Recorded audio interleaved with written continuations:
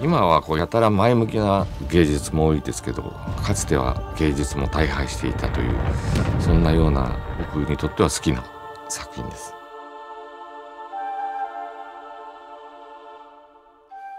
主にサウンドトラックのあの作曲とですね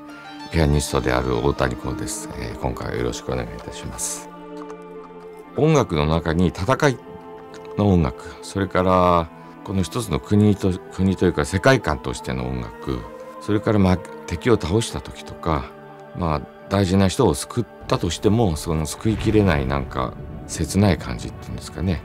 まあ、例えばあの「戦いの終わり」という曲にしても普通だと勝ったからやったっていう方に行くものをこの作品は全体的にあのレクイエムというか祈りというかそういうものを基調にしてあの作りました。えっ、とディレクターの上田さんからの話でその無国籍感エスニック感とかそういうものをオーケストラに混ぜたいということで一番大事に使ったのが、えーと、ブズーキという楽器ですね。これはまあギターよりも古い楽器で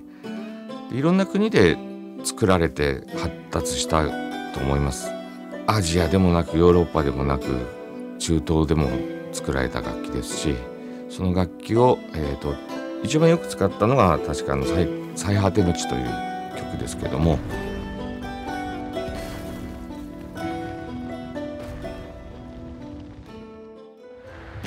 今回新しく生まれ変わりましたけれどもあの本当にこう臨場感というか音も含めその世界に入っていく感じが、と、新しくなるということで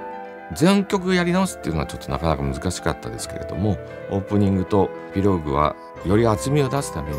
ストリングスの人数を増やして昔のレコーディングされたものにさらにストリングスを足してます。まあ、マイナーチェンジはしております。あの大きく曲自体が変わるということよりもスケール感がアップするためにそういうレコーディングをいたしました。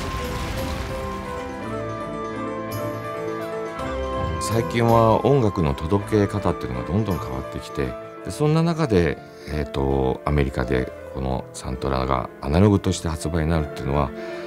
もう本当心の底から嬉しいと思ってますね。えー、ぜひこのアナログ版をですね針を落として、えー、目をつぶって最後までこの作品の世界に入り込んで、えー、音楽を楽しんでください。